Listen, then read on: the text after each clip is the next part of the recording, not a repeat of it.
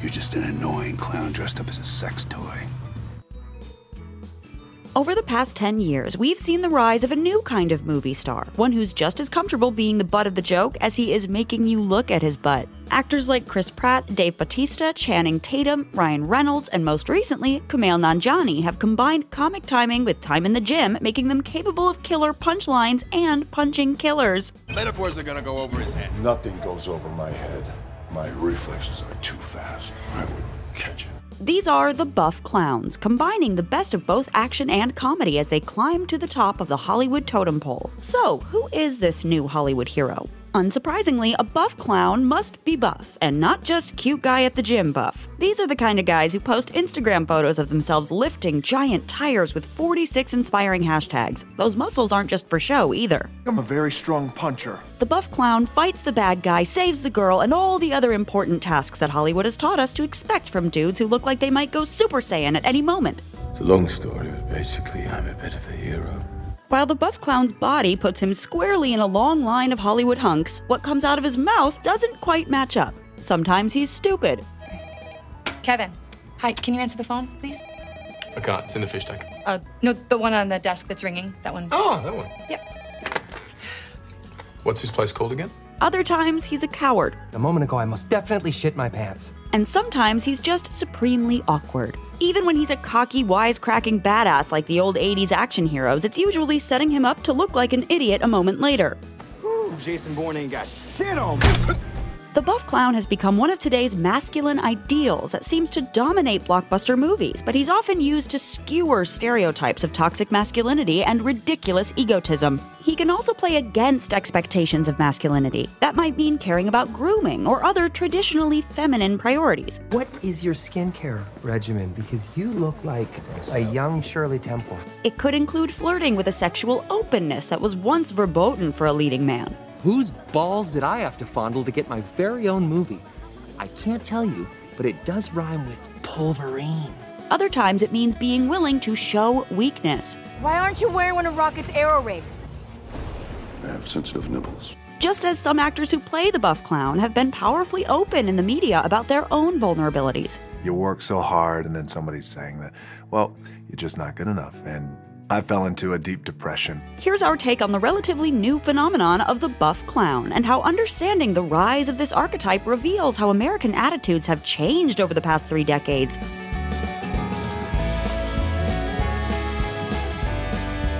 If you're new here, be sure to subscribe and click the bell to get notified about all our new videos.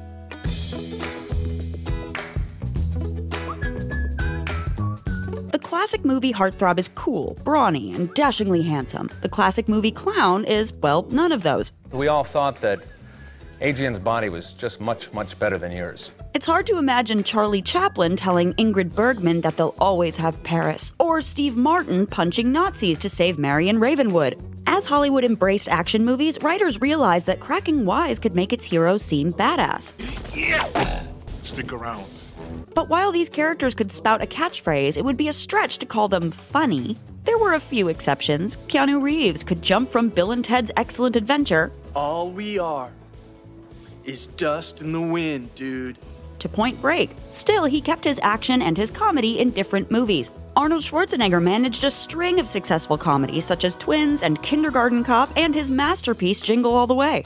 Who told you you can eat my cookies? But considering that he also became a two term governor, perhaps the regular rules simply don't apply to him. When other leading men tried to follow Schwarzenegger, it led to disasters like Stop or My Mom Will Shoot, the Sylvester Stallone bomb that Roger Ebert called moronic beyond comprehension. Mom, what are you doing here? I came to back you up. Get inside. The lesson was clear. Unless you were Mr. Olympia or the one, audiences wanted to admire their leading men's perfection, not giggle at their foibles, at least until a sitcom actor became the biggest movie star in the world. What's a nine letter word for incredible? Oh, that's easy. Will Smith. Will Smith rocketed to fame as the lead in The Fresh Prince of Bel Air, where he often made himself the butt of the joke. Listen carefully, Will. And I know you can hear me with ears that big. But less than two months after the series finale, Will Smith opened the movie that became the biggest box office hit of the year and cemented him as a movie star. Welcome to Earth. In Independence Day, Smith is a classic action hero, punching aliens and saving the world. But while he has the toughness, cool, and sex appeal of previous action heroes, he also has something they don't. He's funny. I'll take care, all right? Nothing but love for you. Nothing but love for you. Smith dials up the traditional action hero confidence until it becomes comical, making the audience laugh at his character even as we root for him. This was supposed to be my weekend off. But no. You got me out here dragging your heavy ass through the burning desert. Making Captain Hiller funny not only served Smith's natural skills, it also served a more complex social purpose. It helped audiences root for a black lead. After all, action heroes like Harrison Ford, Bruce Willis, and Mel Gibson were all white icons. Audiences had rarely been asked to idolize a black action hero, and making the character silly punctured his perfection just enough to make Americans comfortable. Them big old dumbo ears. Chew them chicken legs. This combination of badass and hilarious worked so well for Will Smith that he quickly capitalized on it with a string of action comedy box office hits like Men in Black and Wild Wild West. It'd just be raining black people in New York. By the time he starred in the massive hit Bad Boys 2, Smith was cracking jokes and cracking jaws with muscles that looked like he could bench press Adam Sandler and Jim Carrey at the same time. Oh, that one puckered up my butthole. The buff clown is already a double threat, funny and strong, but how cool would it be for him to become a triple threat by also learning a new language? The most addictively fun and easy way to learn a new language is through Babbel, my favorite language learning app. Babbel's 15-minute lessons make it the perfect way to learn a new language on the go. Just choose from 14 different languages, including Spanish, French, Italian, and German. Whether you're thinking of going abroad, connecting in a deeper way with family, or you just have some free time, Babbel will help you so you can use your new skill out in the real world. I chose to brush up on my Spanish, and it has really paid off. Now I'm excited to travel and try out my new language skills. Plus, there are so many ways to learn with Babbel. In addition to lessons, you can access podcasts, games, videos, stories, and even live classes. Their teaching method has been scientifically proven to be effective. Plus, Babbel comes with a 20-day money-back guarantee. Right now, you can save up to 60% off your subscription when you go to babbel.com slash the take. That's babbel.com slash the take for up to 60% off your subscription. Babbel, language for life.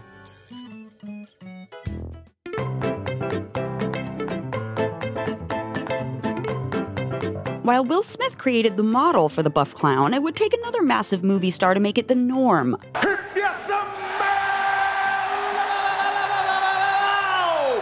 the rock is cooking. In the early 2000s, Dwayne The Rock Johnson was a massively successful wrestler looking to establish himself as a movie star, but he faced a dilemma. Hollywood, they didn't know what the hell to do with me. I mean, I was this half black, half Samoan, six foot four, 275 pound pro wrestler. With so few antecedents, The Rock consciously modeled his approach on Will Smith, saying, I want Will Smith's career, but I want to do it bigger and better. The Rock's first leading role as the Scorpion King in a prequel to The Mummy Returns has all the hallmarks of a Will Smith character a wisecracking badass who sometimes ends up the subject of mockery, but still saves the world and gets the girl. The Rock established his tough guy cred with films like Walking Tall and The Rundown, but he also undercut it with comedy, such as his role in Be Cool, playing a flamboyant bodyguard and aspiring actor.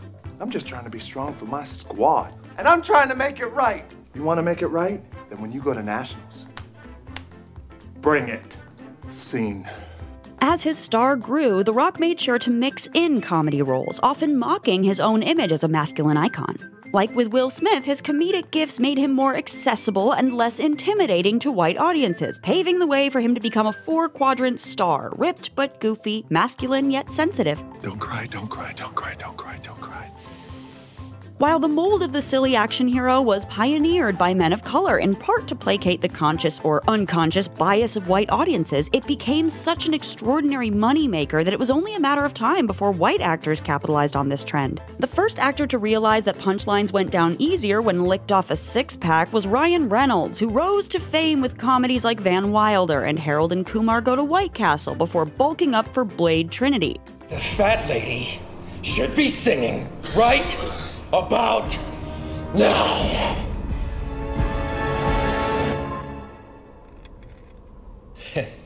this is awkward.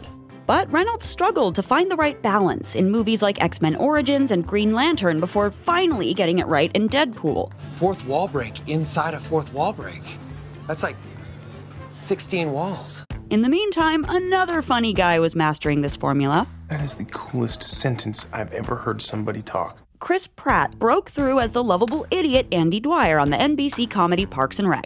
I didn't actually sell my last car, I just forgot where I parked it. When they say 2% milk, I don't know what the other 98% is. The character was first introduced as kind of a loser, mooching off his girlfriend Anne, but as the show progressed, Andy became a more likable, bigger part of the show, as well as simply bigger. When creator Michael Schur told Pratt he'd be happy if the actor gained 30 to 40 pounds, Pratt took it as a challenge, once eating 12 entire racks of ribs while filming a scene. As Pratt's weight grew, the show turned his physique into a gag. Oh, I'm going to die. I'm so tired.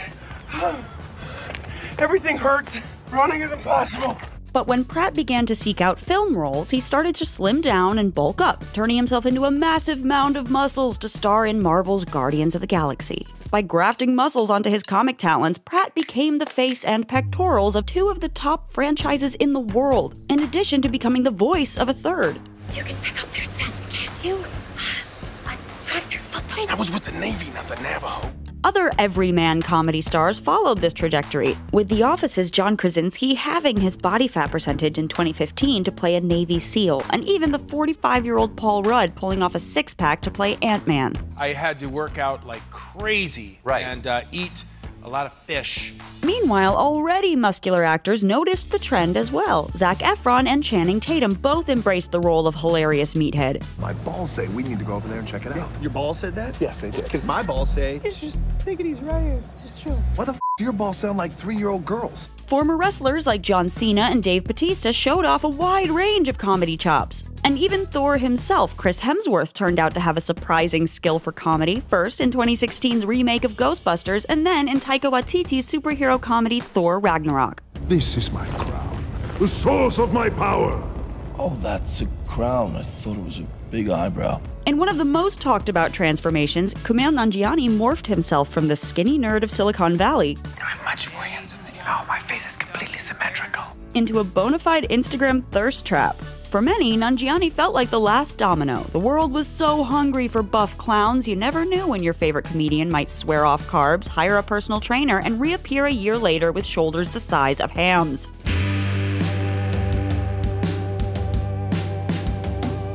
Given that the ranks of buff clown movie stars are swelling faster than Kumail Nanjiani's biceps, we can't help asking why. After 50 years of non-stop buffets of badassery, why did Hollywood suddenly decide we needed a side of silly? No one likes to show off.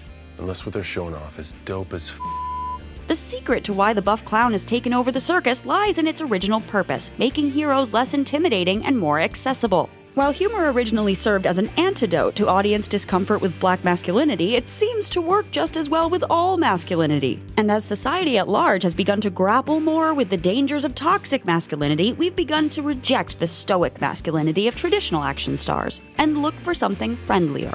Together. Together. You're a good friend, French. Being willing to be the butt of the joke lets the audience know that the star is game for anything and rejects old ideas, encapsulated by Margaret Atwood's famous quote Men are afraid that women will laugh at them, women are afraid that men will kill them. It's not wise at all to make fun of me like that.